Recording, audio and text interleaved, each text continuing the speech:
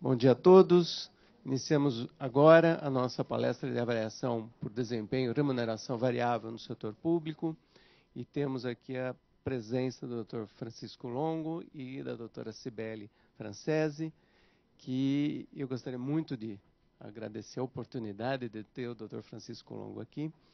Queria falar que, na verdade, ele é um companheiro antigo da Fundap, né? já esteve duas vezes aqui na nossa casa e já, inclusive, teve um de seus livros é, traduzido para o português e publicado pela Fundap. É, evidentemente, esse é um evento muito interessante para a Fundap e para a Secretaria de Gestão, porque estamos falando justamente do tema que é o nosso maior objetivo, né, que é lançar as bases no setor público que tenha condição de oferecer ao cidadão um serviço de qualidade pelos recursos que ele encaminha para o Estado, pelos recursos da sua renda que ele tem extraído para o Estado. Evidentemente, esse é um, um elemento assim, crucial para nós, para o nosso trabalho, para o nosso dia a dia e, é, obviamente, para o Estado de São Paulo conseguir executar melhor suas tarefas, suas ações e beneficiar especialmente os que têm mais necessidade da ação do Estado. Eu vou passar aqui a palavra para a Cibele Francese, para ela dar início à nossa conversa de hoje. Muito obrigado. É, bom dia a todos. É, eu queria dizer para vocês que hoje é um dia muito importante para a Secretaria de Gestão e um dia muito feliz também, porque estamos aqui para finalmente começar a conversar é, com os RH setoriais, né, tão importantes para o nosso Estado, e por isso que vejo esse momento como um momento da gente criar uma rede entre nós e começarmos a conversar cada vez mais. Queria muito agradecer a presença do professor Longo aqui conosco. É um privilégio poder ouvi-lo e poder compor a mesa com ele. É, queria agradecer ao Biasotto é, e toda a Fundap por nos acolher aqui, né, e por providenciar e realizar esse nosso evento. É, eu queria aproveitar para falar um pouquinho para vocês, rapidamente, sobre o que a gente está propondo esse ano para a capacitação. Né? É, eu queria aproveitar esse momento porque os RH setoriais são extremamente importantes para que a gente consiga fazer uma capacitação efetiva no Estado. E por que são importantes? Tanto para nos ajudar a pensar juntos, porque ninguém conhece melhor as pessoas que trabalham nas secretarias e trabalham no Estado do que os RHs que trabalham com essas pessoas, e também para nos ajudar a selecionar os melhores perfis para que eles sejam adequados aos conteúdos do, dos cursos que estamos propondo. Né? Então, a ajuda de vocês é fundamental. É, então, eu trouxe aqui a figura que resume o que a gente está é, desenvolvendo em capacitação para esse ano e queria mostrar rapidamente para vocês. É, são seis núcleos de conteúdo é, que estamos propondo. Eu vou falar rapidamente um pouquinho de cada um.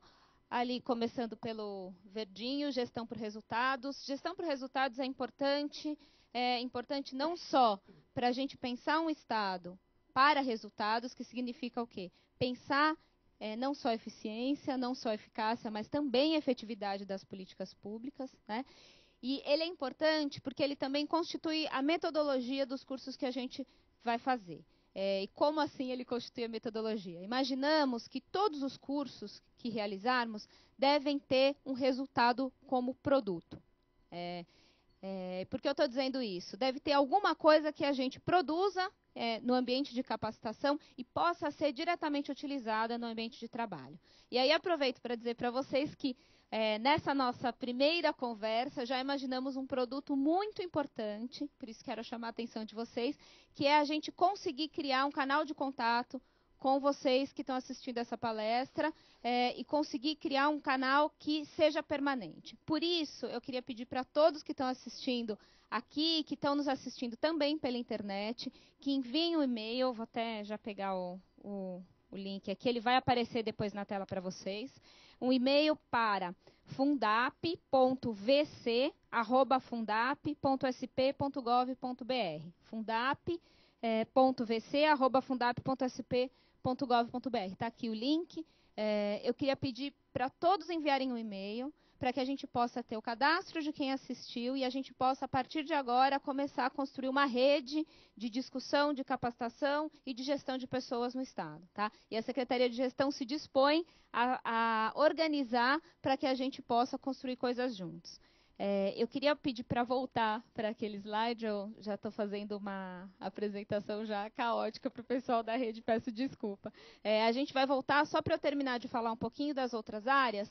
Gestão de pessoas, que é o nosso conteúdo de hoje, né? E que iniciamos, é, é muito, é realmente um privilégio poder iniciar uma área de capacitação no Estado com a presença de um professor como o Francisco Longo. É uma coisa que nos orgulha muito e é, é um primeiro passo muito promissor. Gestão de suprimentos, nós já temos, estamos discutindo já um curso é, que vai se chamar Ciclo de Compras, que já tem sido desenvolvido em parceria com outras secretarias, com a Secretaria da Fazenda, com a Secretaria de Planejamento, com a PGE e sempre com a participação da Fundap é, nos ajudando na discussão dos conteúdos.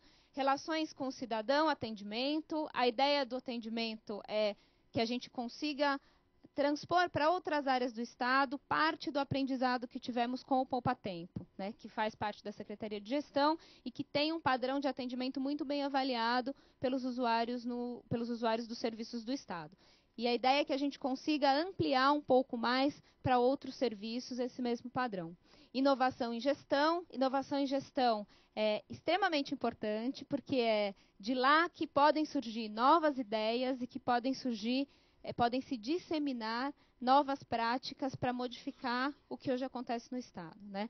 É, a gente tem muita ideia inovadora que acaba ficando guardada na gaveta. E o que a gente está propondo aqui é ajudar essas ideias inovadoras a florescerem. Né? E propos, é, estamos propondo, inclusive, uma incubadora de projetos inovadores para que a gente possa monitorá-los e ajudá-los para que eles possam florescer dentro do Estado. Gestão de parcerias é, foca principalmente nas organizações sociais. É, e aí temos área de. Em São Paulo temos várias áreas já, mas existentes, previstas em lei, mas existentes mesmo, saúde e cultura. E também prevemos aí em parcerias o grande rol de parceiros que fazemos por meio de convênios. Né? É, e, por fim, a capacitação em, básica em gestão pública, que é o núcleo dessa mandala, que envolve é, uma, uma visão básica sobre o Estado e de onde sairão todos esses outros conteúdos. Então, terminei, era muito rápido. Eu queria só fazer um overview mesmo para vocês, para que vocês possam entrar em contato conosco, dar opinião sobre isso, se juntar às parcerias que já estão acontecendo para o desenvolvimento de cada um desses núcleos. Né? E, para terminar, eu queria falar um pouquinho sobre o tema do nosso, do nosso dia de hoje, é, que está aí na, no convitinho que vocês receberam. Vamos falar, o professor Longo vai nos falar um pouco é, sobre avaliação de desempenho e remuneração variável. Né? Por que, que isso é tão importante para o Estado? Nós estamos num momento agora importantíssimo de se discutir isso. É, eu não sei se vocês já ouviram, o governador já anunciou ah, uma reformulação, uma revalorização das carreiras da área meio pela alteração da Lei 1080 de 2008. Né? Isso já foi anunciado e esse projeto de lei deve ser encaminhado à Assembleia ainda essa semana. E o que, que tem de interessante neste projeto de lei? Né? Ele estende para todas as secretarias um prêmio que vai ser pago para funcionários da área meio, funcionários regulados pela 1080. E como este prêmio vai ser pago? Né? Ele é um prêmio por desempenho. E aí nós estamos estendendo algo que já existia em outras muito poucas secretarias. E o que, que eu queria chamar a atenção para isso? O primeiro passo para que a gente tenha um sucesso na extensão desse prêmio é começar a encará-lo como uma forma importante de introduzir a avaliação de desempenho no Estado. Tá? Introduzir e disseminar. A ideia não é que a gente imagine isso simplesmente como é, incorporação salarial ou como mais uma forma de reajuste salarial. A ideia é que nós que trabalhamos com gestão de pessoas olhemos para esse instrumento como uma oportunidade de introduzir a cultura de avaliação no estado de São Paulo. E é por isso que é, eu pedi ao professor Longo que tratasse desse tema, para que a gente possa começar a pensar nele como uma grande oportunidade de melhoria do serviço público através das pessoas que trabalham no Estado. E não apenas como, ah, mais uma coisa que eu tenho como RH que fazer, que preencher, uma coisa pro forma. Depende da gente fazer esse instrumento valer e depende da gente fazer com que ele valha para a melhoria do serviço público. Então, queria chamar a atenção de vocês para esse nosso novo desafio e dizer que não só com essa palestra, mas que pelo contato que é, esperamos que vocês estabeleçam conosco, a Secretaria de Gestão vai estar à disposição para que a gente enfrente esse desafio juntos e que a gente possa é, fazer dele um instrumento para construir um Estado melhor. Tá bem?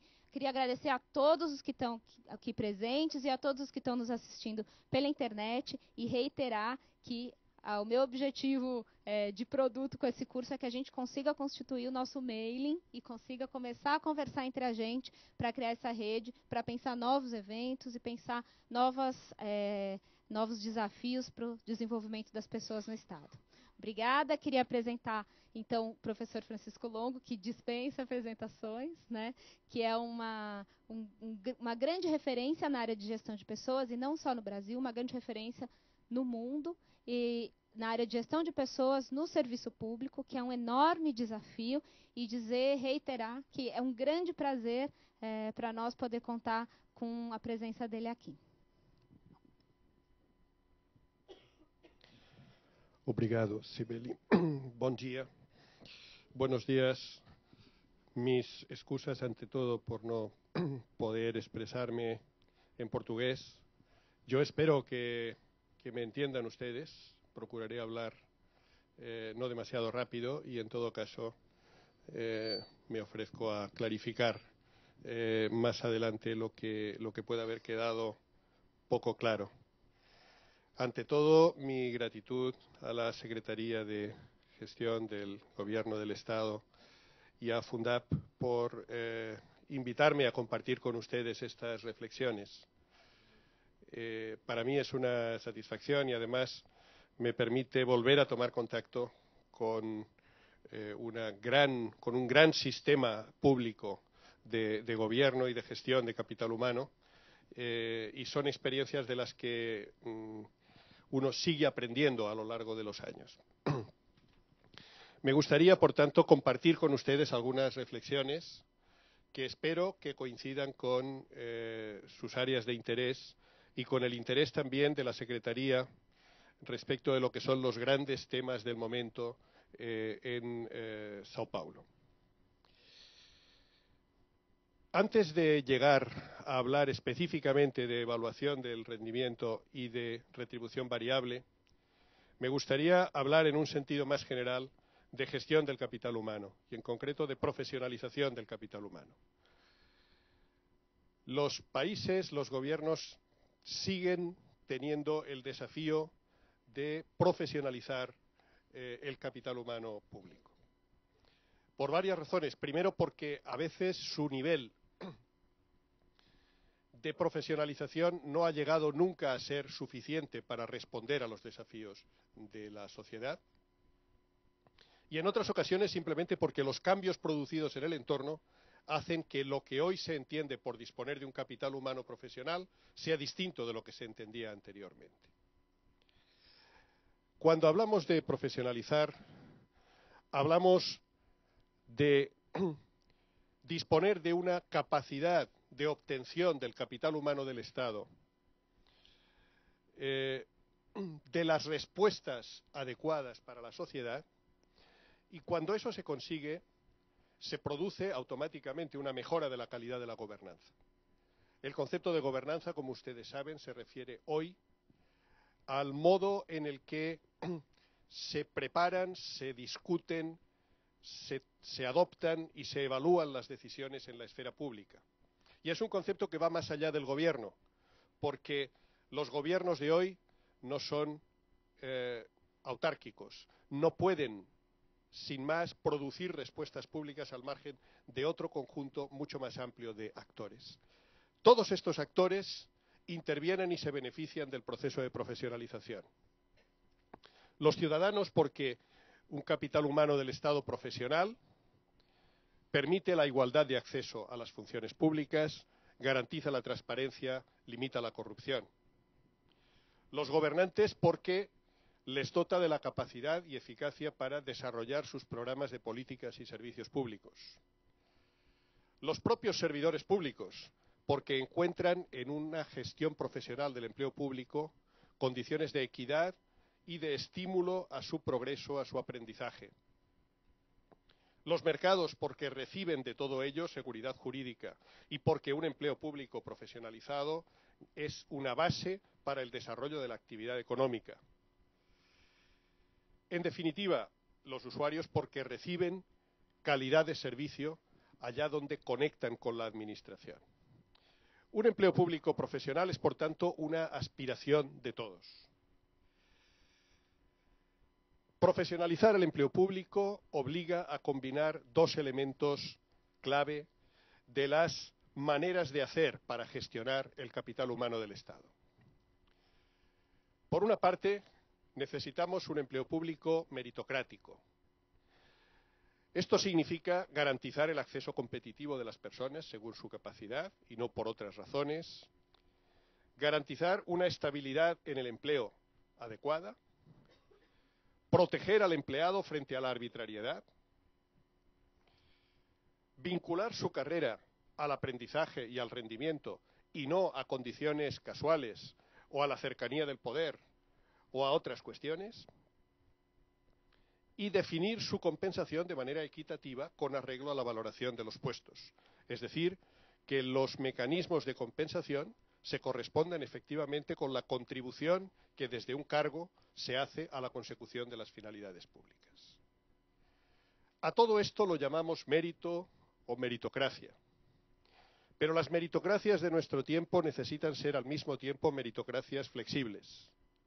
Necesitamos incorporar en el empleo público pautas de flexibilidad que garanticen la receptividad a las directrices del Gobierno, los gobiernos no pueden permitirse tener un empleo público que funciona como un freno a las necesidades de transformación de los países y eso obliga a disponer de prácticas flexibles. La flexibilidad garantiza la evitación de privilegios y de degeneración corporativista y burocrática en los empleos. Las burocracias públicas, cuando se vuelven rígidas, generan deformaciones burocráticas serias, y este, este es un problema vivido en muchos países. La flexibilidad supone la aplicación de prácticas avanzadas de gestión de recursos humanos que llevan al sistema público las mejores maneras de hacer de las organizaciones privadas, de las organizaciones sociales, etcétera. La flexibilidad supone diferenciar las recompensas según el rendimiento en el, sistema público, en cualquier organización pública o privada, las personas deben ser tratadas con igualdad, pero distinguidas en función de sus merecimientos y de su rendimiento. Tratar igual lo que es desigual es poco equitativo y es además injusto. Por lo tanto, necesitamos flexibilidad para aprender a diferenciar entre las personas. Y por último, la flexibilidad supone la posibilidad y la necesidad de introducir incentivos al rendimiento. ¿En qué consiste la flexibilidad de la que estamos hablando? Consiste, y voy a ir muy rápido en esta primera, en esta primera parte, consiste, por ejemplo, en seleccionar y promover a las personas por competencias. ¿Qué quiere decir esto? Quiere decir que las tradiciones en el sector público e incluso también en el sector privado en buena medida son entender que eh, la manera de predecir el éxito en el desempeño de la tarea se basa en los conocimientos de las personas, muchas veces acreditados a través de méritos formales, diplomas de capacitación, etc. Sin embargo, hoy sabemos que el éxito en el trabajo depende también no solo de esos conocimientos y de esos merecimientos formales, sino de un conjunto de cualidades, de características a las que hemos dado en llamar competencias, que tienen que ver con las habilidades, las actitudes, con factores de motivación, en definitiva, con una serie de rasgos que necesitamos identificar para mm, seleccionar bien y para promover bien a las personas a cargos diferentes.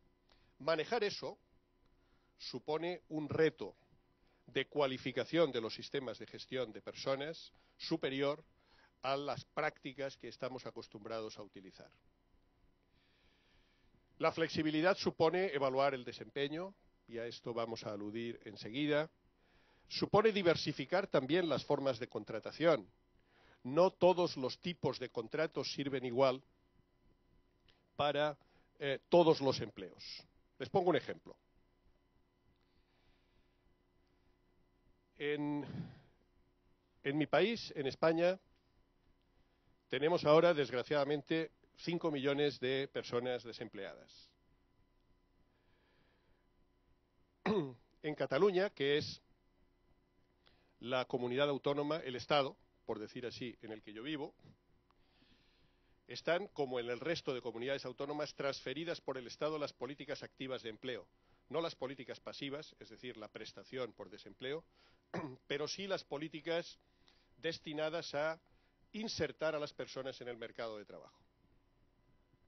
Hay una organización, el Servicio Catalán de Empleo, que tiene 1.800 funcionarios dedicados a realizar estas tareas. Estos 1.800 funcionarios son el mismo número y las mismas personas que hace solo cuatro años estaban gestionando una situación de pleno empleo pleno empleo en varones y casi pleno empleo en mujeres. ¿Tiene algún sentido que el Estado mantenga la misma estructura cuantitativa y cualitativa cuando necesita fomentar el empleo como primera prioridad nacional y cuando eso ha dejado de ser una prioridad y un trabajo incluso digno de ser tenido en cuenta? Eh, podemos mantener una estructura contractual que nos obliga a mantener indefinidamente las plantas públicas en lo cuantitativo y lo cualitativo, al margen de cuáles son las necesidades de la población y de los ciudadanos. A eso es a lo que me refería con diversificación de formas contractuales. Necesitamos cargos diseñados en forma más polivalente. Cuando un cargo se diseña de forma muy exhaustiva, muy rígida, se produce el efecto que en España llamaríamos esto a mí no me toca. Es decir, eh, se produce una especie de reacción defensiva. El cargo se utiliza no para identificar la función, sino para defenderse del cambio. Flexibilidad en la asignación de tareas. Movilidad funcional y geográfica necesitamos que de cuando en cuando las personas se muevan y la movilidad bien diseñada debe buscar un equilibrio entre, ayer hablaba yo para eh, personas del sector educativo en la Fundación Itaú. ¿Cómo se mueven los profesores? Es lógico pensar que los profesores se muevan entre centros en función de dos cosas.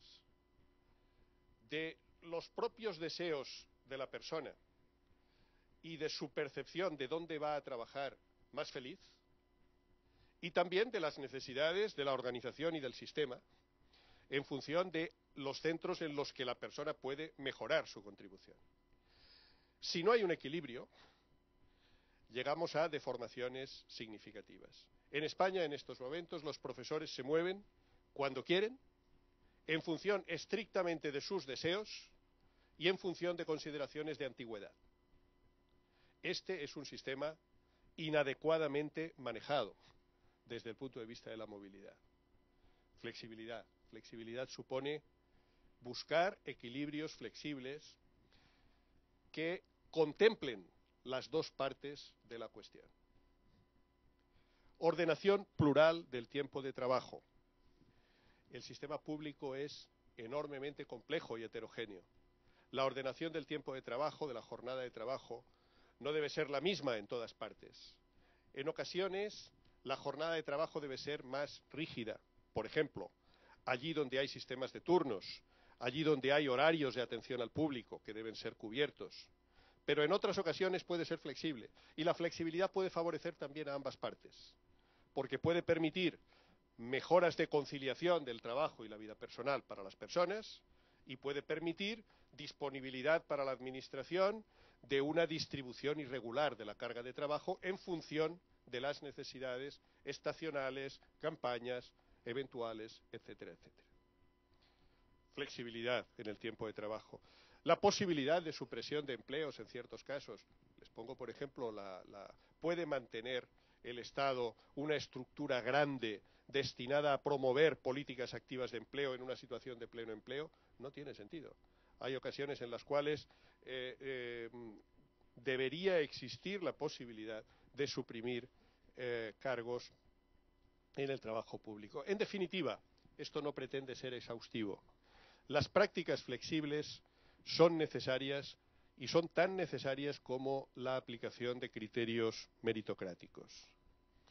Pero combinar mérito y flexibilidad no debe ser visto como un juego de suma cero, en el que lo que ponemos en un lado lo tenemos que quitar del otro. Una meritocracia flexible es un juego de suma positiva, en el cual cuanto eh, mayor es la flexibilidad, eh, eso apoya más eh, el mérito y viceversa.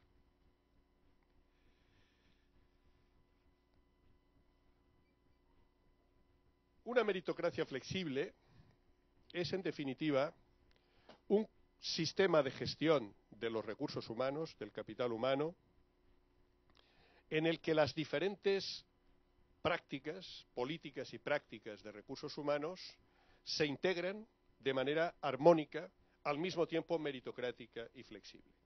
En este esquema, que no teman que no voy a detallar pormenorizadamente, eh, este es un esquema eh, que hace muchos años que vengo utilizando y que muestra la integración de los principales subsistemas de la gestión del capital humano.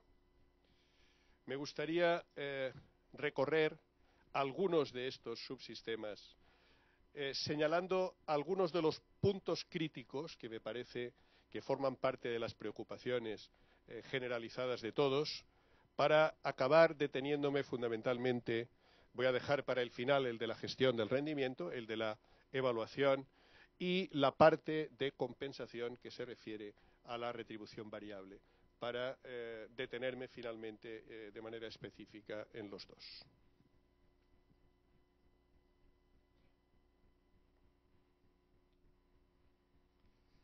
La organización del trabajo.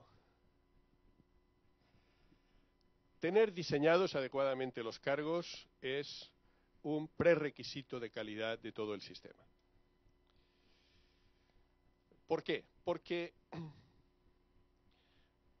por una parte, el diseño de los cargos es un, eh, es un mecanismo que permite ordenar el empleo, pero también porque el diseño del cargo es un instrumento de comunicación de la organización hacia la persona sobre cuál es el marco en el que se desarrolla su contribución.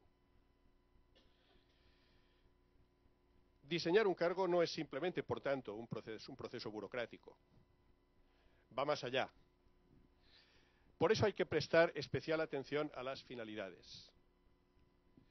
Las finalidades son aquella dimensión del, del, cargo que concreta las áreas en las que el ocupante del cargo debe obtener resultados. Por lo tanto, define, se diferencia de las funciones, en que define el objetivo, las finalidades, los mecanismos a través de los cuales el titular del cargo crea valor. Pensemos, por ejemplo, en alguien que ejerce una función de dirección de recursos humanos en una organización. Podríamos definirle como función la administración del presupuesto de personal. Esta sería una función. Pero podríamos ir más allá y decir que debe eh, obtener el máximo valor de las personas de la organización en el marco del presupuesto y sin hacer crecer el presupuesto de recursos humanos. Entonces le estamos estableciendo una finalidad. le estamos diciendo no simplemente que debe administrar el presupuesto, que lo haría de cualquier manera, sino que le estamos definiendo unas orientaciones sobre lo que se espera que haga y sobre lo que se espera que sea su contribución. Así podríamos pensar en cualquier otra eh, actividad. ¿Por qué me estoy deteniendo en las finalidades? Porque si uno no tiene cargos bien definidos desde el punto de vista de las finalidades, será muy difícil establecer un sistema de evaluación del rendimiento. Porque la evaluación del rendimiento debe ser consistente con lo que le decimos a la persona que debe ser su contribución. Claro que, como veremos, no basta con tener bien diseñado el cargo, porque el diseño del cargo nos dice lo que es importante de manera estable, permanente, mientras no se cambie. Pero el rendimiento se compone también de lo que es importante hoy, ahora, aquí, de los objetivos de este año, de lo que tenemos que hacer para mejorar algo en este momento. Y eso exige combinar la descripción del cargo con objetivos. Pero los objetivos tendrán que ser coherentes con las finalidades. Las finalidades nos sirven también para otra cosa muy importante en el diseño de los cargos, que es para definir los perfiles de idoneidad de las personas. De hecho, la construcción de los perfiles de competencias, técnicamente, parte de las finalidades. Cada una de esas finalidades requiere poner en juego una serie de competencias. Y al final, el, el, estudio de la tarea nos conduce a definir un perfil. ¿Por qué es importante el perfil? Porque, como veremos enseguida, lo necesitamos para seleccionar bien a las personas. Es importante revisar frecuentemente descripciones y perfiles. ¿Por qué? Pues simplemente porque las cosas cambian. Porque cambian además de manera cada vez más acelerada y todos lo experimentamos en nuestro trabajo. Lo que antes era estable por periodos más largos, ahora acorta sus periodos de vigencia. Esta revisión frecuente de descripciones y perfiles es una tarea en la cual los responsables de recursos humanos, las unidades, ustedes, que son especialistas en recursos humanos, tienen un papel muy importante, pero no están solos.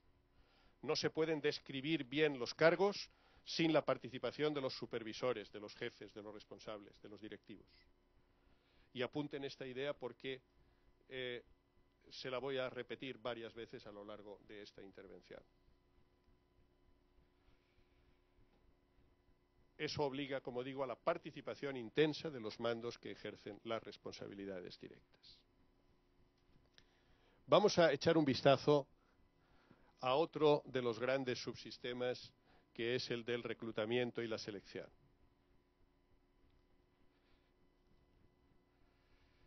Dice, las garantías basadas en procedimientos limitan con frecuencia el logro de la idoneidad. Muchas veces buscamos mecanismos para garantizar el mérito, que son fundamentalmente mecanismos formales. Exámenes, diplomas. Y, está bien.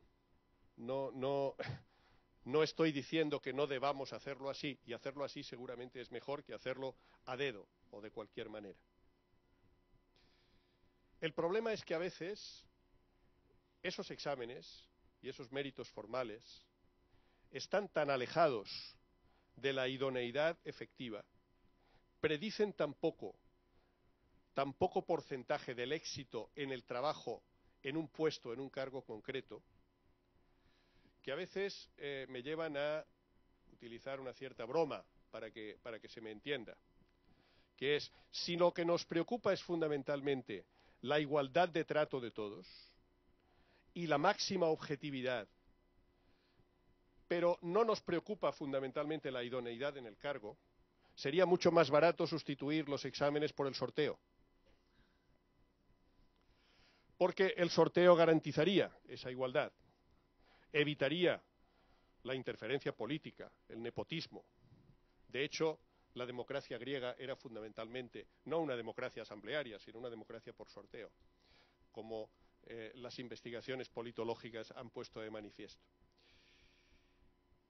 Pero es evidente que el sorteo lo que no nos garantiza es la capacidad de la persona para realizar una tarea. Y para eso necesitamos invertir e invertir, como decía antes, en eh, perfiles y competencias. Nos obliga a manejar además instrumentos flexibles como las entrevistas, las simulaciones, las pruebas psicométricas, que al ser más flexibles también aumentan el riesgo de subjetividad y de posible manipulación.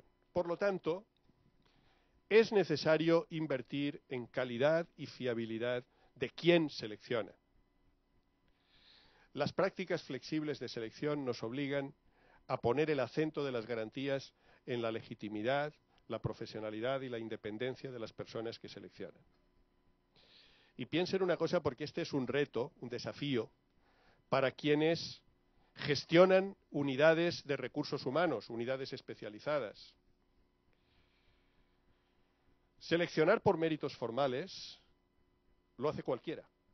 Basta con un baremo, basta con pedir documentación y basta con darle a un administrativo poco cualificado el encargo de ir contrastando una cosa con otra. Pero seleccionar por competencia supone incorporar a las unidades inteligencia. Retengan también esta idea porque también volverá a salir. Uno de los grandes desafíos es enriquecer las unidades de recursos humanos con capacidades nuevas, capacidades que están a la altura de las necesidades técnicas del manejo de instrumentos flexibles de gestión de recursos humanos. Las garantías aplicadas a la profesionalidad y a la independencia de quien selecciona son, desde mi punto de vista, la orientación básica para disponer en reclutamiento y selección de meritocracias flexibles.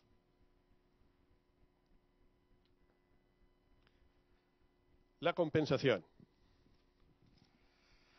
El concepto compensación está sustituyendo crecientemente al de retribución o salario, por una razón, porque la palabra compensación nos permite pensar en todo aquello que la organización le da a la persona a cambio de su trabajo y todo aquello que la persona valora.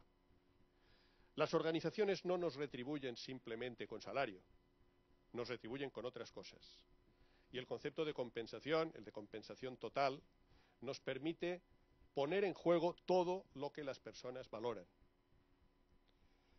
Por ejemplo, no es lo mismo para una persona eh, que está retribuida igual que otra de otra organización disponer de mayor flexibilidad, por ejemplo, para organizar su jornada. No es lo mismo trabajar en una organización que le ofrece perspectivas de promoción que en una que no se las ofrece. No es lo mismo trabajar en precario que trabajar en unas condiciones estables. No es lo mismo trabajar en un entorno que a uno le permite formarse y aprender y crecer que en un entorno en el que uno prácticamente eh, mm, carece de estas posibilidades. El concepto de compensación en general afecta a todo.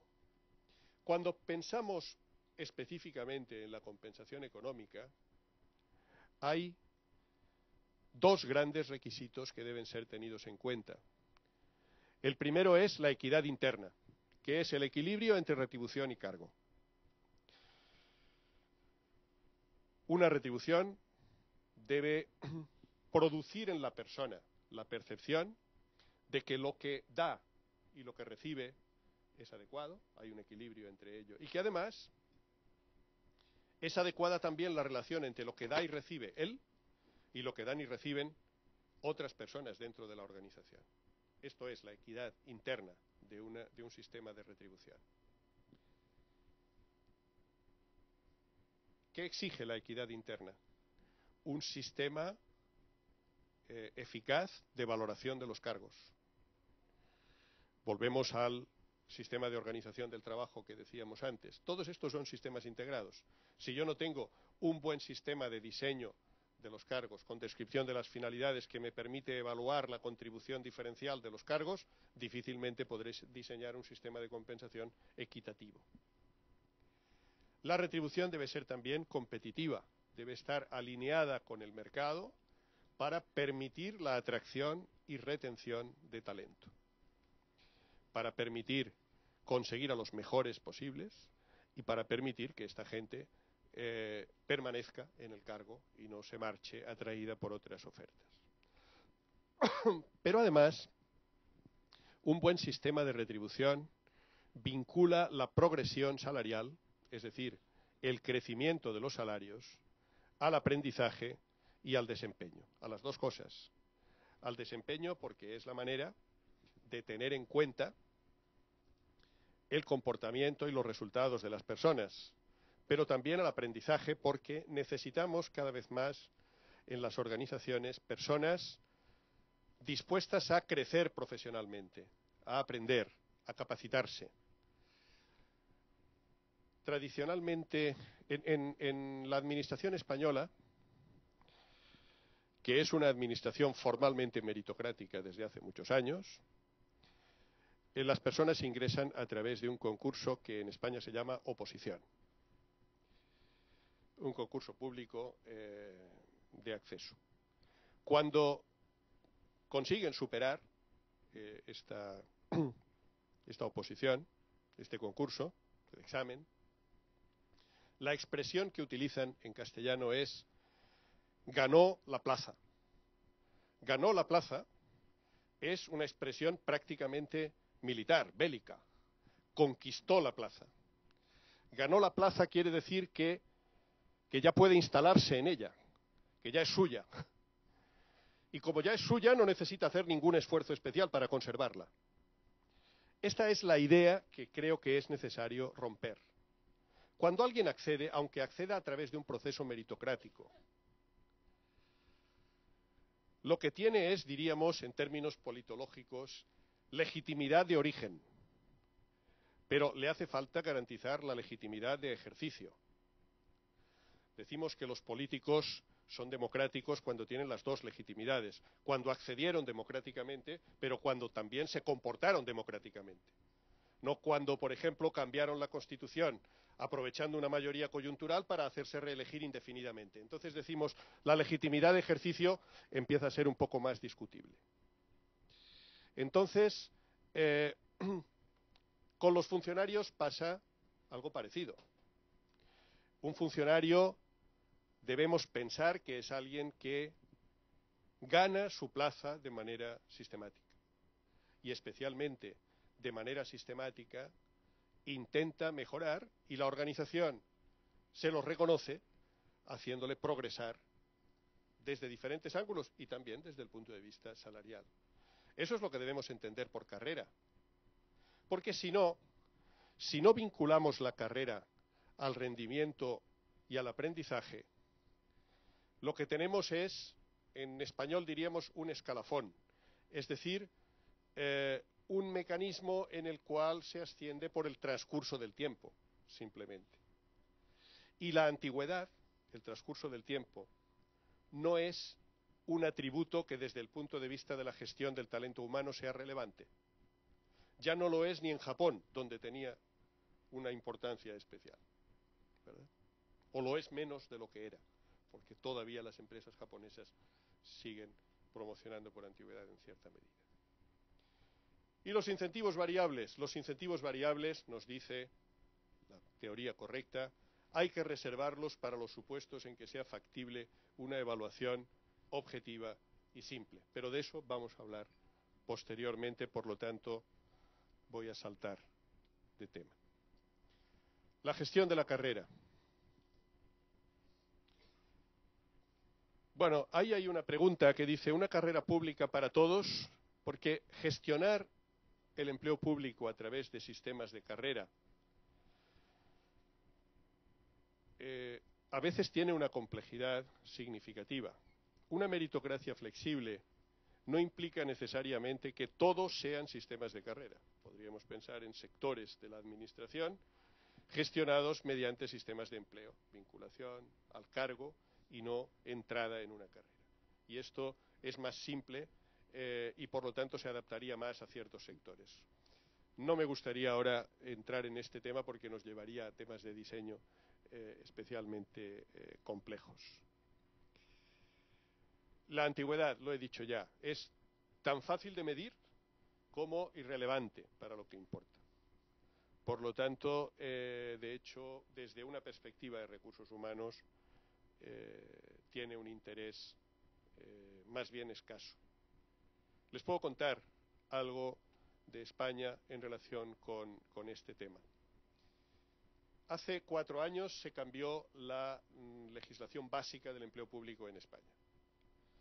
Se hizo un nuevo estatuto básico del empleado público. España es un Estado compuesto de matriz prácticamente federal y el Estado dispone, el legislador central dispone de competencias legislativas en el terreno de lo básico. Luego, estas son desarrolladas por cada nivel de administración a través de leyes de desarrollo.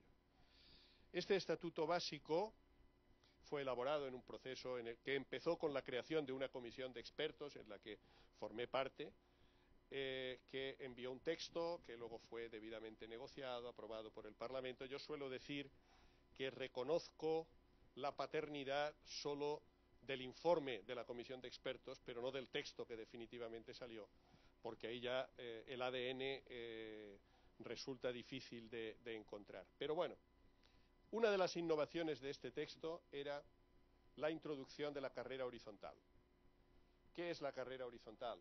Pues es la posibilidad de que los funcionarios asciendan y por lo tanto tengan mayor estatus, mayor remuneración, no mayor poder formal, sin necesidad de cambiar de cargo, simplemente reconociendo su mayor capacidad de aportación por un crecimiento de competencias. Es evidente. Pensemos en un, en un jurista, por ejemplo. Su cargo será el de asesor jurídico, pero no es lo mismo el que lo desempeña cuando es joven, acaba de salir de la facultad de la Escuela de Derecho y hace eh, los informes rutinarios que salen medio hechos de la fotocopiadora, que cuando está elaborando dictámenes complejos porque se ha cualificado. Su cargo no ha cambiado, pero lo que sí debe ser cambiada es el reconocimiento que la organización le da. Esa organización no debe cometer el error de nombrarlo jefe de algo si no lo necesita, porque a veces nombramos jefes a las personas para pagarles más, pero les estamos cambiando el oficio. Estamos inflando la estructura sin necesidad. La carrera horizontal pretende resolver eso. Pero claro, la carrera horizontal tiene que medir aprendizajes tiene que medir competencias y necesita, por tanto, instalar capacidades en el sistema que permitan medir esas cosas. Porque si no se instalan e intentamos aplicar carreras horizontales, ¿qué es lo que acaba ocurriendo? Especialmente por la presión de los sindicatos, los gremios, etc. Pues que acabamos premiando la antigüedad e introduciendo complementos salariales que cada X años se van aplicando y la gente va ascendiendo por el transcurso del tiempo. Esto ha pasado en España en diferentes sectores. Por lo tanto, a veces, fíjense, querer introducir una práctica flexible como la carrera horizontal para resolver un problema real sin instalar capacidades suficientes en el sistema lleva a desnaturalizar y, en definitiva, a gastar recursos públicos eh, indebidamente.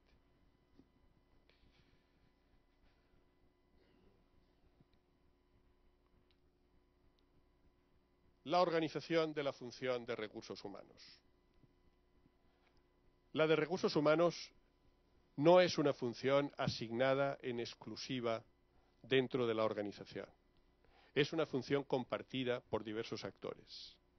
Para que funcione bien, requiere que ejerza su papel la alta dirección, definiendo adecuadamente las estrategias de recursos humanos exige que las unidades de recursos humanos hagan el suyo y luego intentaremos al final profundizar mínimamente en cuál es. Pero exige también que los directivos y mandos intermedios se impliquen en la gestión de las personas.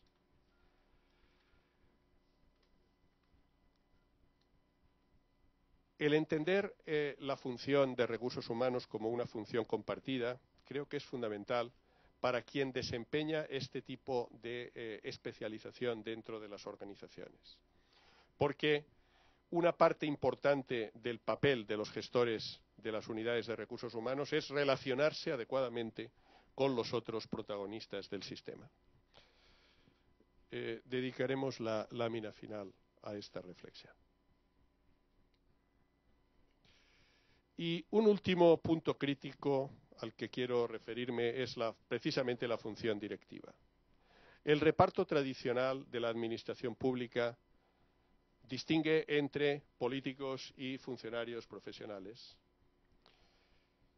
Eh, la función de dirigir es en realidad ajena al paradigma de la administración burocrática tradicional. Sin embargo, la complejidad de la administración actual, su heterogeneidad, su carácter productor de servicios, ha creado una especie de difuminado espacio directivo. Un espacio directivo que en estos momentos se están disputando los dos actores tradicionales del sistema. Las carreras públicas quieren ocupar el espacio directivo de alguna manera, a veces burocratizándolo. Y evidentemente la política coloniza el espacio directivo a través del reparto de cargos. Cuanto menos desarrollo institucional tiene un sistema de empleo público, mayor es el número de cargos colonizados políticamente en el sistema. Por eso, eh, el cómo se define un espacio directivo profesional que permita instalar capacidades de gestión importantes en el sistema es una cuestión en plena, eh, en plena discusión, en pleno debate en estos momentos en los países. Algunos países lo están intentando resolver creando una dirección pública profesional e instalándola ahí a través de un sistema, creando un sistema de filtros de acceso desde abajo o incluso lateral y dotándolos de garantías de profesionalidad. Este es eh, uno de los temas que eh, en estos momentos, por ejemplo, en España, entre otros países, está en plena efervescencia. Por una razón, porque los sistemas y las organizaciones no funcionan sin buenos directivos.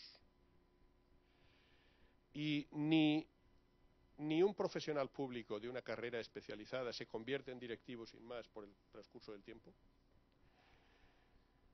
ni necesariamente eh, alguien que llega por el circuito político eh, tiene las credenciales suficientes como para eh, ocupar ese puesto. Es más, en España, en algunas comunidades autónomas que tienen muy mal resuelto el problema, cuando hay elecciones y cambia el color del gobierno, los cargos directivos pasan a ser masivamente ocupados por personas que no saben nada, y el problema es que cuatro años después, cuando han aprendido, como no tienen la legitimidad de acceso, son frecuentemente reemplazados por otro ejército de personas que no saben nada. Y de esa manera vamos descapitalizando el sistema público y gastando recursos públicos de una manera digna de mejor causa. Profesionalizar la función directiva es, por tanto, un desafío importante. Y me parece, si la memoria no me falla, que ahora sí llegamos. Bueno, la dirección pública profesional debe ser meritocrática, debe combinar profesionalidad y confianza, las dos cosas. Pero la confianza no debe sustituir la profesionalidad. La apertura al exterior del sistema público es necesaria para evitar la endogamia y, evidentemente, las condiciones de trabajo deben adaptarse a la eh, función de dirigir. Un directivo eh, difícilmente va a gozar de la estabilidad en el cargo de un profesional, porque su función es de otro tipo, pero debe tener una condición de estabilidad razonable. Normalmente un directivo va a tener, por definición, una parte significativa de su remuneración a riesgo y debe estar vinculada a los resultados, etcétera, etcétera. Estas son características eh, propias.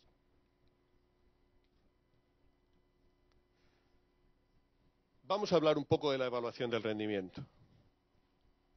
La evaluación del rendimiento es probablemente la parte más difícil de la gestión de las personas. No es fácil encontrar buenas prácticas de evaluación del rendimiento. No es fácil en el sector público y tampoco es fácil en las empresas, no crean. Hay buenas prácticas, sí, yo les diría que yo no, no, no acostumbro a ser verdaderamente a, lanzar grandes elogios a lo, a lo, propio, a lo de mi país, a lo que conozco y tal, pero por ejemplo, en este caso les tendría que decir que en mi organización, en ESADE, la organización en la que trabajo, trabajosamente a lo largo del tiempo se ha conseguido implantar un buen sistema de evaluación del rendimiento del eh, profesorado. Ha costado mucho, pero creo que existe una buena práctica instalada de evaluación del desempeño. Eh, pero, mm, repito, no es frecuente. Y no es frecuente porque es costoso, porque requiere desarrollar capacidades importantes, porque eh, obliga a vencer resistencias, pero al mismo tiempo es imprescindible. Si volviéramos ahora al diagrama anterior, el del sistema integrado de gestión de recursos humanos, verán que ocupa un papel, un puesto central. Sin evaluación del rendimiento, difícilmente se puede promocionar bien a las personas, difícilmente se puede compensar bien, difícilmente se pueden hacer otras cosas. Problemas frecuentes de la evaluación del rendimiento. Una aplicación puramente rutinaria. Se instala un sistema y se aplica de manera mm, eh, simplemente burocrática. Le llega al responsable de una unidad la indicación de la unidad responsable, tienes que evaluar y entonces este llama a alguien y le dice, oye, que ya están otra vez estos de recursos humanos con la historia de la evaluación. Eh, o, simplemente dedica poco tiempo a hacerlo. En definitiva, se convierte en una práctica de poco, entendida como de poco valor. el café para todos es una expresión española que quiere decir que no se distingue, que todos son buenos o que todos están en un estándar eh, razonable. ¿verdad?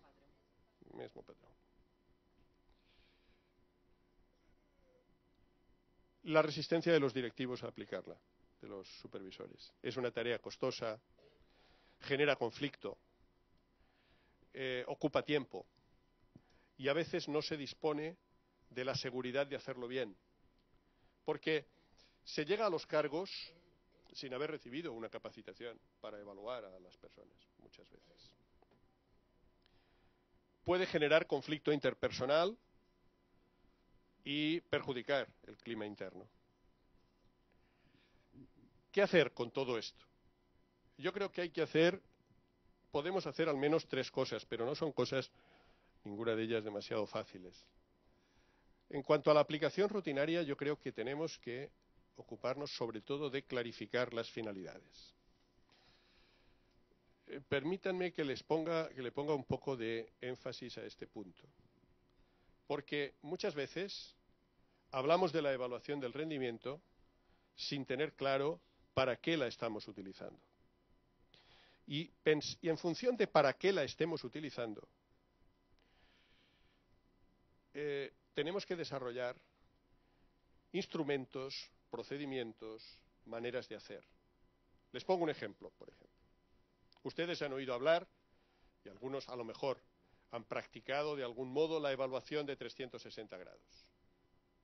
La evaluación de 360 grados consiste en que la persona, como saben, es evaluada por su jefe, por sus colaboradores, por sus colegas, por los destinatarios de su actividad, incluso a veces por los proveedores que le suministran, es decir, por todo el conjunto de personas que le conocen.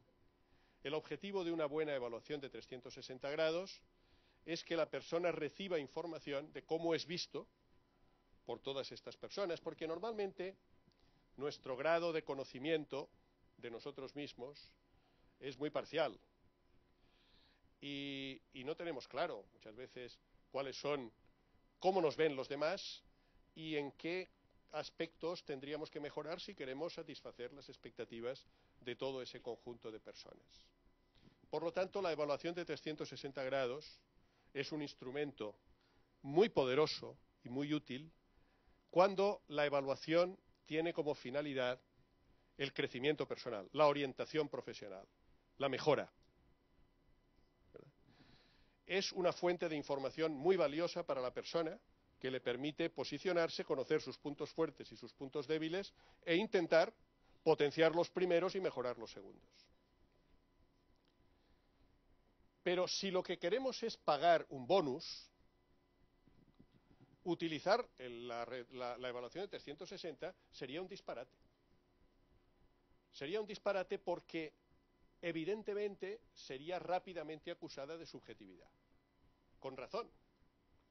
Porque, fíjense, en el primer caso, lo que buscamos es precisamente la subjetividad. La subjetividad de todos los actores que nos están mirando. Y esa subjetividad es valiosa para una finalidad determinada. Pero esa subjetividad, cuando lo que queremos es pagar un bonus, está totalmente contraindicada. Ahí tenemos que buscar mecanismos objetivos. Por lo tanto, clarificar las finalidades es fundamental. Y es fundamental también para que la organización entienda que son finalidades importantes, que son finalidades estratégicas, que detrás de esas finalidades hay cosas que valen la pena. Y es el primer paso para que la organización se implique en el proceso.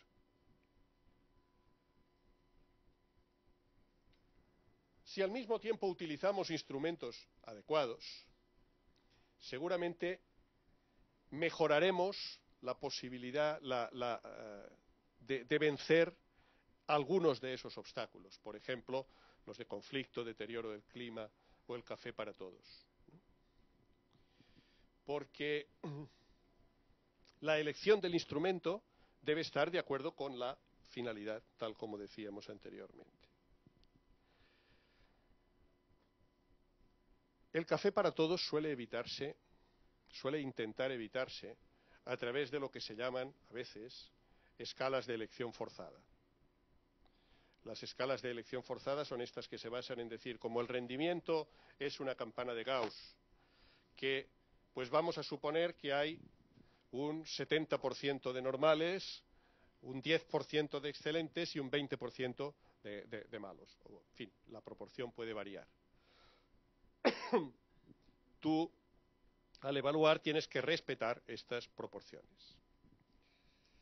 El problema de las escalas de elección forzada es que si, si nos quedamos ahí, a veces se utilizan como un atajo para superar la inexistencia de buenos evaluadores. De algún modo significa decir, como yo no me fío de ti, porque si te dejo hacer utilizarás el padrón, el mismo padrón, el café para todos. Voy a imponerte una restricción. Luego eso da lugar en la práctica, cuando uno analiza sistemas, a veces se encuentra con cosas que además se, repiten en diversas organizaciones. Por ejemplo, ese 10 o 20% de excelentes, a lo largo de los años se vuelve rotatorio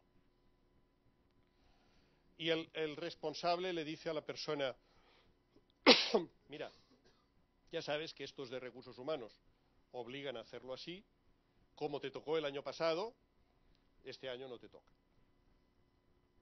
En definitiva, esto lo que está mostrando es que a veces el instrumento no, es suficiente para resolver los problemas.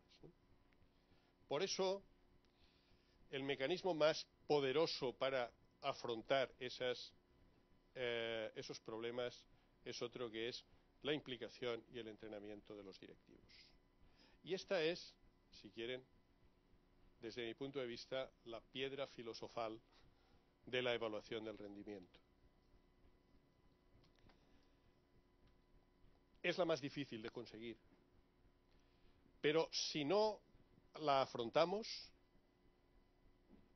no se construyen sistemas eficaces de evaluación del rendimiento. Yo he llegado a esa conclusión. Los mejores instrumentos del mundo, esos instrumentos evolucionados, que han sido tomados de buenas prácticas, que cuando los de recursos humanos vamos a foros internacionales enseñamos diciendo este es mi sistema de evaluación y la gente aplaude, aplicados en una organización donde los directivos no se los creen y no se implican, no funcionan. No funcionan. No resuelven los problemas en cuestión. ¿Qué hacer con la evaluación del rendimiento? Y sobre esto podemos, si luego ustedes quieren, debatir un poco más. Algunas recomendaciones, por tanto, para desarrollar con éxito sistemas de gestión del rendimiento. Invertir en estrategia y clarificar las finalidades de la evaluación, ya lo hemos dicho. Y, y asumir algo importante. Un sistema de evaluación del rendimiento sirve para promocionar, para saber organizar planes de capacitación, mejorando los puntos débiles, para realimentar, por ejemplo, el diseño de puestos, para eh, pagar una retribución variable, para tomar un, un montón de decisiones de recursos humanos. Pero en términos de análisis coste-beneficio, el coste de implantación de un sistema de evaluación del rendimiento solo merece la pena si mejora el rendimiento. Porque si todo eso no mejora el rendimiento, tendríamos que plantearnos eh, si ha valido la pena el esfuerzo. Centrar en la mejora del rendimiento, la evaluación del rendimiento, parece una tautología, pero no lo es porque con alguna frecuencia nos olvidamos de la mejora del rendimiento en el puesto y de su eh, estímulo. Segunda recomendación, hay que ponerse en la piel del directivo que tiene que aplicar el sistema. Y ponerse en la piel, ponerse en sus zapatos, como quieran llamarle, significa preguntarle, significa escucharle, y significa ponerle las cosas fáciles. No significa no imponerle un sistema que nos ha parecido muy bueno, pero que eh, no hemos preguntado cómo va a ser visto, en qué medida va a introducir una distorsión, en qué medida le hace sentirse incómodo con. La gestión de la relación con el directivo creo que es muy importante y esto nos lleva a utilizar sistemas de evaluación, primero, sencillos de usar, poco complicados, y segundo, manejables mediante la observación. Porque piensen, un directivo es una persona eh, ocupada, en general, si evidentemente el cargo está bien diseñado,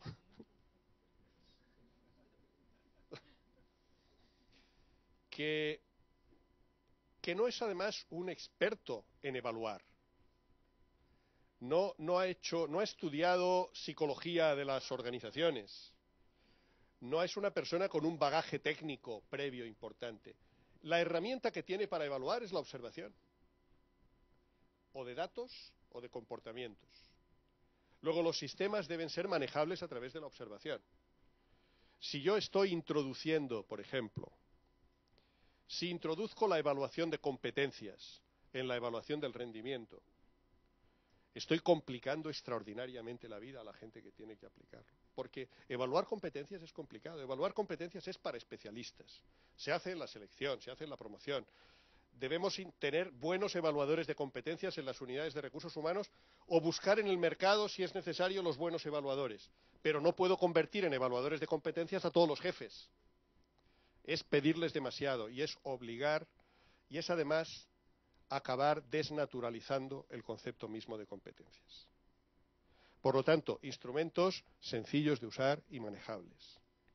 Después, seguir, monitorear, apoyar, evaluar, aprender, son instrumentos que cuesta aplicarlos, que difícilmente nacen perfectos al principio. Hay que darse la posibilidad de seguir a lo largo de procesos largos mejorándolos.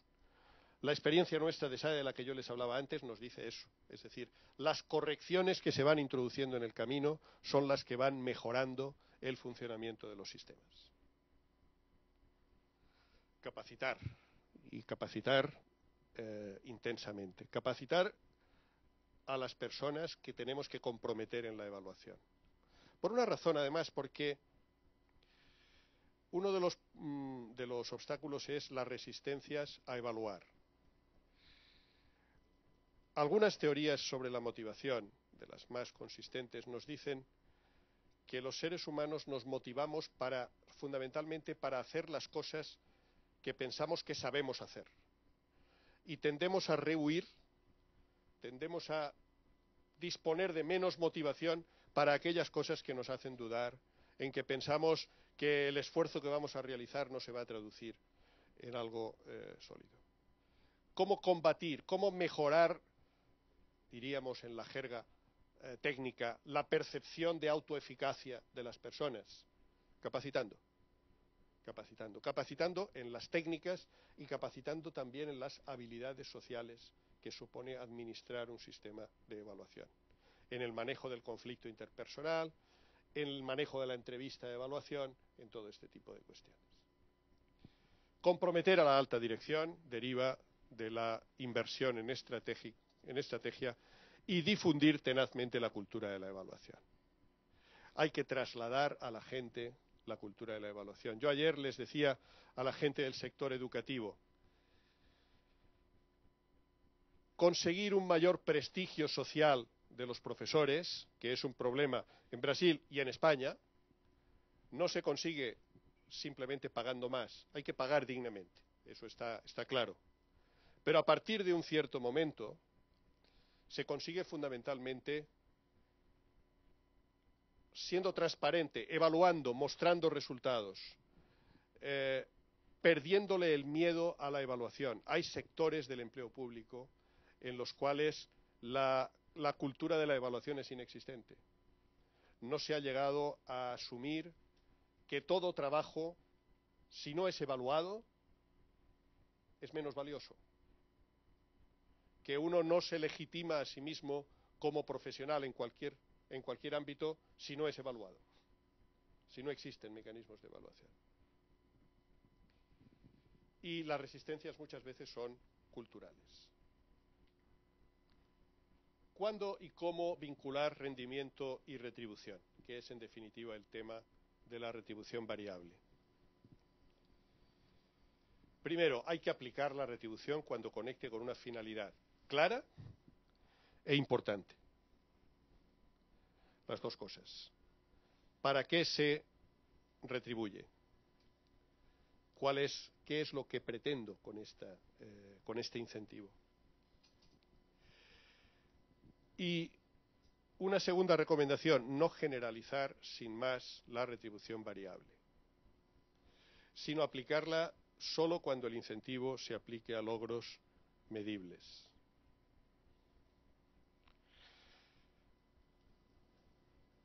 Hay sectores del empleo en general en los que la existencia de un logro medible facilita y lleva consigo fácilmente una retribución variable. Pero en, la práctica empresarial, en la buena práctica empresarial, por ejemplo, la retribución variable aplicada al personal administrativo, por ponerles un ejemplo, o es desconocida o lo que se aplica son sistemas más bien de participación en beneficios vinculados al conjunto de los resultados de la organización. ¿Por qué? Porque realmente, y sin embargo en esa misma empresa se está retribuyendo a las áreas comerciales y por supuesto a los directivos de un modo variable. Lo que quiero decir es que la retribución variable, en principio, debe aplicarse vinculada a la existencia de una posibilidad de medir resultados o logros. Percepción clara de objetividad, por lo tanto, vincular a resultados. ¿Esto qué quiere decir? Que la vinculación a conductas o a características personales tiene un riesgo de subjetividad excesivamente alto. Por lo tanto, debe existir un resultado medible. Plantearse la opción individual o grupal. A veces es más fácil pagar una retribución grupal, colectiva, que una retribución individual. Medidas simples, procedimientos sencillos, comprensibles, transparentes. Y, por último, apoyarse en un sistema efectivo de gestión del rendimiento, que es, en definitiva, volver a lo anterior, disponer de supervisores, de jefes, de directivos capaces de implicarse en la gestión del rendimiento de las personas. Y termino, termino con una referencia al papel de las unidades de recursos humanos. El gran reto de muchas unidades de recursos humanos es pasar de la administración del personal a la gestión del capital humano. Es decir, de una actividad importante, necesaria, pero secundaria en la organización, a una función estratégica, imprescindible para que la organización cumpla sus finalidades. En España es frecuente encontrar en el sector público unidades de recursos humanos mm, muy numerosas, mucho más que en las empresas. Empresas del mismo tamaño tienen unidades de recursos humanos mucho más reducidas. Y uno se pregunta por qué. ¿Es que las empresas no le dan importancia a los recursos humanos? ¿Es que la, prioridad a los recursos humanos es una característica del sector público? La explicación creo que es otra. Las empresas han procedido crecientemente a externalizar, tercerizar aquella parte de la administración de recursos humanos que consiste en trámite y por lo tanto lo que, eh, supone las nóminas, los contratos, eh, la ejecución puramente, buscan quien se lo haga. Y lo que han retenido es la capacidad para elaborar políticas de recursos humanos. ¿Qué encontramos muchas veces en España en las unidades de recursos humanos en el sector público? Trámite, trámite. Nóminas, planillas, permisos, licencias, eh, contratos, seguros sociales, eh, previsión, etcétera. Y cuando hace falta inteligencia, se contrata un consultor. Es decir, se hace al revés. Se terceriza la inteligencia en lugar del trámite. Creo que tenemos el desafío de hacerlo al revés tenemos que cualificar, tenemos que dotar de inteligencia a las unidades de recursos humanos. Y tenemos que convencerlas de que producen un producto valioso, un producto exclusivo.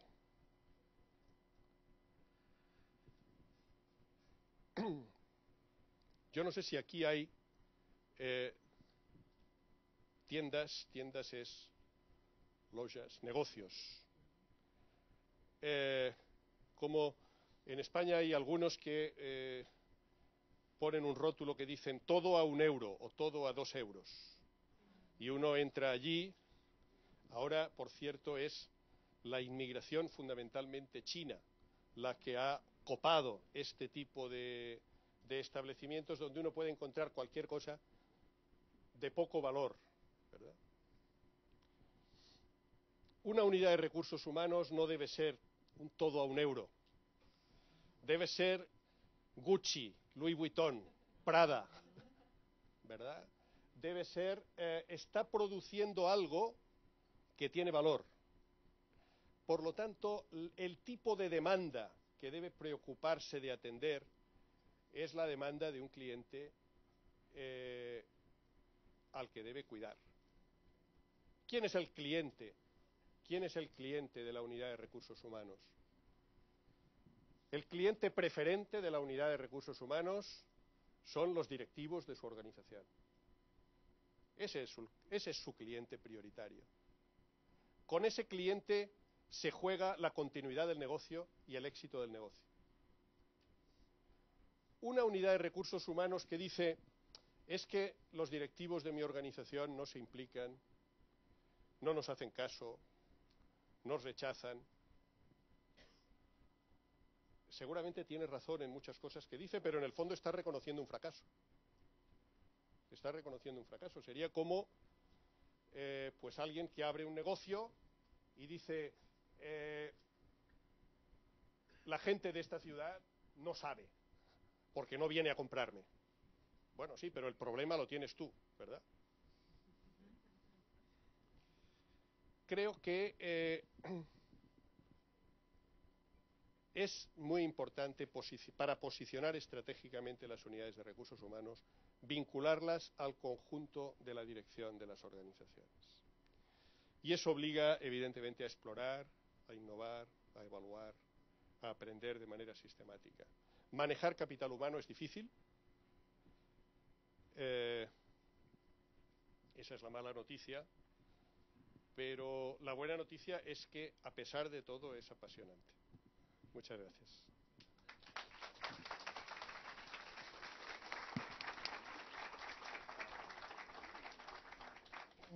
Bom, eu queria agradecer ao professor Longo pela brilhante exposição, é, dizer que a gente fica se encontrando nas coisas, nos exemplos. E, infelizmente, não são só na Espanha que acontece. Né? Temos muitos aqui é, no nosso sistema. É, queria dizer, então, que agora a gente vai dar um, um tempinho, uns 15 minutinhos para um café. E queria pedir que as pessoas, ao voltarem, se preparassem para fazer as perguntas. Estou imaginando que, para quem está nos assistindo por internet, é, a, melhor, a melhor alternativa, quer dizer, a única alternativa, é mandar a pergunta por e-mail. Né? O e-mail está aqui, então é fundap.vc arroba fundap.sp.gov.br. Para quem está aqui no auditório, pode, se preferir, fazer a pergunta é, pessoalmente, ou, se quiser, pode escrever e entregar para a gente aqui na mesa. Quem tiver um papelzinho, já pode escrever e pode deixar por aqui, ou quem não tiver um papelzinho, eu vou deixar um bloquinho aqui no, na ponta da mesa. Sintam-se à vontade para utilizá-los. Até mais.